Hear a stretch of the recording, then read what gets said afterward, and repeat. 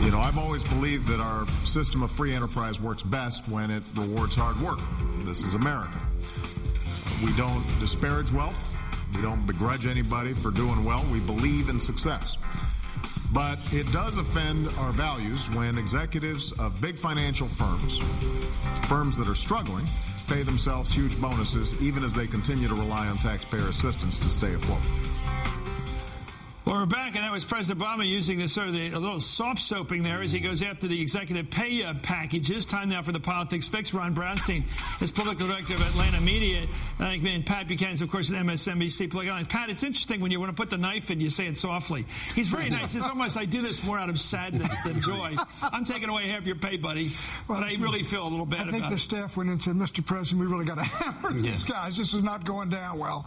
So they went. But he was so soft. He's so soft. But let me say this: that this this is a problem you get into, Chris. Those guys, that is outrageous. But you get into this problem as soon as you get taxpayers' money into private business, then you got to run it. Frankly, mm. some of these big firms should have been allowed to go under. Let them pay the mm. price, and let them deal in the mm. market with their own successes, their own failures, their own mistakes. Well, we, did try, you, we, we did try that with Lehman Brothers. How about a rule? How about a rule? That's like so Bill well. Maher's new rules. How about a new rule?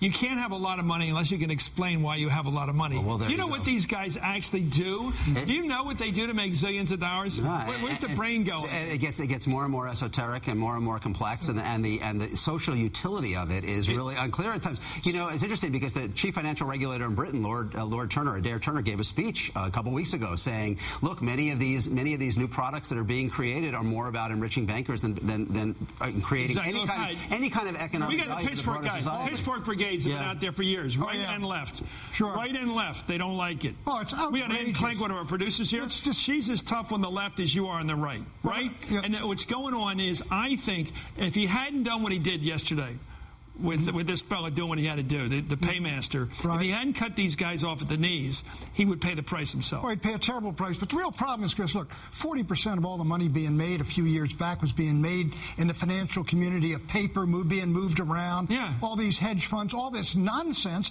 They don't produce real things. Remember Sherman McCoy and what was the bonfire oh, yeah. of the vanities? Mm. He couldn't explain to his kid, what do you do, Daddy? yeah. Mr. Jones Master builds roads. Master he builds universe. roads, and actually he's, he's arbitraging bonds or something. Well, you know, like we that. have we now have this tremendously ambivalent relationship as a society with Wall Street because we're all dependent on the stock market for our because retirement oh security and our kids in, in, a way that was. And by the way, we all look at it. All, I watch it every night on this show. I watch the market report, and you want to know how and I doing. wanted to go up. Right. And, and fact, by the way, back when I didn't have any money, I wanted to go down. And, and, uh, people, Screw those guys. People, feel, people, feel, people feel better that Dow is at ten thousand than was it? Are was more people rooting for the market or rooting against it right now? Well, they're rooting. They're rooting for the market, but that doesn't mean necessarily they're rooting for the market makers and participants. I mean, you know, the, the, the broader okay, the, well, the, broader point of the president here, though, look on the financing, on the lobbying here against all of the enhanced regulation okay, and regulatory companies. reorganization he's trying Citigroup. to do. It's back to business as usual. Citigroup, Bank of America, AIG, General Motors, and Chrysler. I mean, the list is out there, and every one of the top 25 guys in each one of these right. firms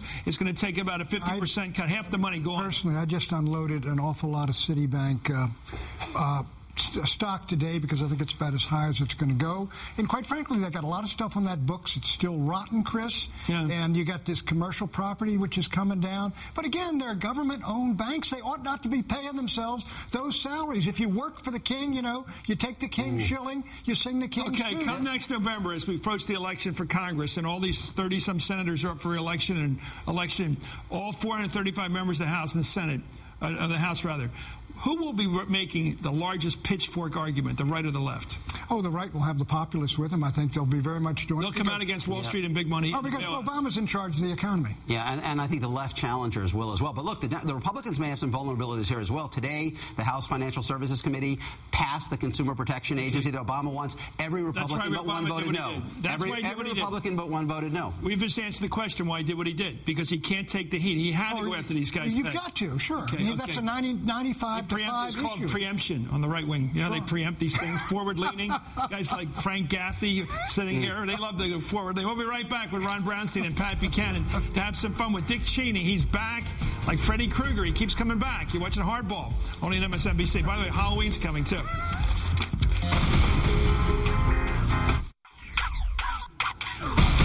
We're back with Ron Brownstein and uh, Pat Buchanan. You know, I'm stunned occasionally by shamelessness in this town. Uh, the vice president left. Well, he didn't leave town, did he? He just got left office, and his top aide got in huge trouble, apparently regarding pushing the cause. Uh, keeping secrets uh, and giving false evidence, false testimony. There They were there last night, both in tuxedos, black tie, both getting awards from Frank Gaffney, our buddy here. Uh, I mean, they just they just keep giving themselves awards. The American Enterprise Institute, all these front groups. Uh, Pat, they never stop giving themselves awards and giving speeches to each other. I mean, like, look, there, there's Rumsfeld. I mean, they, they, this is the gang's all here. Chris, that's what journalists do too. Yeah, right. it's endless awards. They're giving well, each know, other journalist of the year. I mean, poor Scooter wants his law practice back. Yeah. He'd well, like to get back. That's, Gaffney, that's Gaffney's folks. That's his crowd. I That's know. what he believes in. That's what And, Cheney and look, I believes mean, that, that has been There's part of, Frank. part of the secret of conservative success. 25 years ago, Sid Blumenthal wrote a book, right? The Counter Establishment. There is a network, a web of institutions that support people when they're out of government, train, kind of uh, help get, get the credentials to move into government. Is- it has it, it is something that the left has tried to emulate Okay. in the last decade, especially. But You're this an is a perfect erstwhile example Republican. It. it is always there. It's a safety net. Out there like he is. Right. Getting awards, giving awards, wearing black ties, celebrating his very being. Is that good for the Republican Party? I don't know, but I think it's good for Cheney. He clearly has become a very it's a very powerful voice. I mean, Yeah. and he's saying what he believes. Right. Secondly, and, and he is jamming Obama, and so are the generals at the Pentagon, and they're going to get those troops. You I know, think. Democrats. You think once- that'll be the bottom line here? I, Obama can't keep it at zero. He's not going to pull No. them out, so he's going to give No. them 20, 30, 40,000 I don't know. at He's least. going to 40. But look, I, I, Democrats once thought that Cheney, once thought that Cheney's talking was unambiguously a positive for Democrats and hurt Republicans. But in this environment we're in, where part of the challenge for Democrats is a very mobilized Republican base, Cheney does in fact do that, even if he does kind of drive away some in the middle. For the White House, it's especially infuriating because they believe the difficulty of the situation in Afghanistan is directly a function of Bush's failures to deal with the problems as it Uh-huh. deteriorated, uh, especially in his second term. So to hear Cheney come out now and, I think and kind of fair- blame them. That's a fair criticism of the Republicans, Bush and Cheney, and, and Gibbs made it. I'll say that. But Cheney is elevating himself into a direct battle for the White House, Mm-hmm. and that is not a bad thing for Dick Cheney. He's become the foreign policy defense voice of the Republican slash conservative establishment. This who lost Afghanistan canard, which Bush- began tonight, perhaps here with Frank Gaffney. The trouble with that is it encourages any president, right, left, or center, to keep troops Mm-hmm. everywhere. Because whenever you pull the troops out, you're accused of quote And, losing. you know, and Don't send them in. Well, That's- and thank there- you, look, well, there, are these, there are these Shakespearean. That's There are these Shakespearean conversations between Lyndon Johnson and Richard Russell in Yeah. 1965 on the tapes, in which Johnson says exactly that. I, I can't see going forward. I can't see a victory at the end. But if I if I pull the troops out, I will be No, but he was still eviscerated putting them in. by the right. No, I'm saying, but he had said exactly Nixon, that concern. Nixon, Goldwater, and, And Rockefeller that will kill me Right. if I do if, this. If I've got to put out. him in, Dick. And Right. Dick says this is a god awful mess, Right, Lyndon. right, and what Lyndon are we says, doing? and Johnson says, you know, and so that you know, you don't want a president to have to make the decisions Okay. on those bases, but there is Okay, these pressures are, are reality. Pat Buchanan, gentlemen, thank you.